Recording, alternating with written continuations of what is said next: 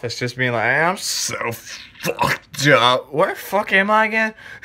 and then eventually he like looks at my stepmom. He's like, Who are you? Are you Anne? And the Anne's my dad's ex girlfriend, so.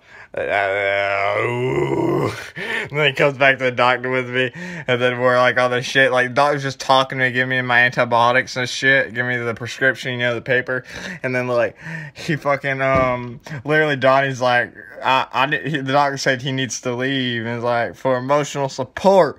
And it's like, it's like, I need to stay here for emotional support. It's like, you need to leave. It's like, dying, you, you kind of have to leave. And then he left, and then I told him to go to the truck.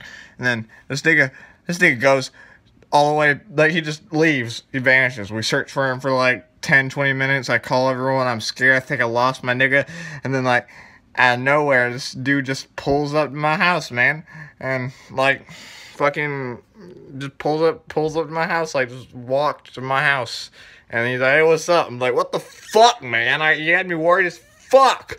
Like, what the fuck? And then part eight. Um, it was another day, you know. I was chilling.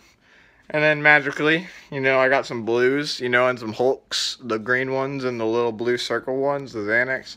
And I take these bitches.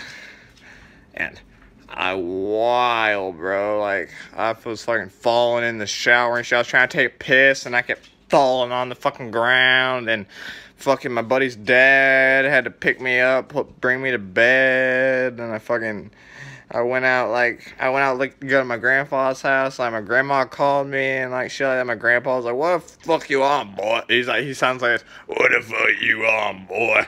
You on drugs?" if you know pop, then you know you know that reference. But uh, most of you don't. But the niggas that you know, you know my friends, they probably know before mom died and shit.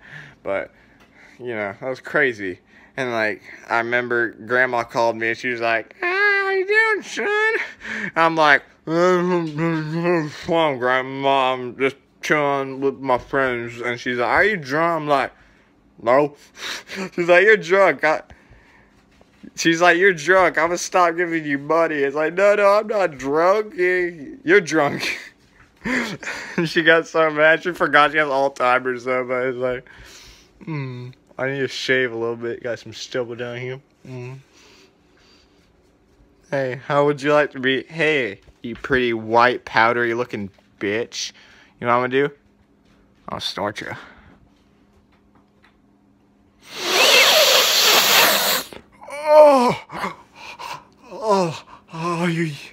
You're so pure. You're, you're pure cocaine. I love you.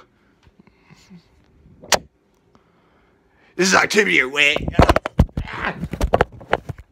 This is Your Ways, and this was Xanax Adventures Part 7 and 8, I think. So, you know, catch me in the next video.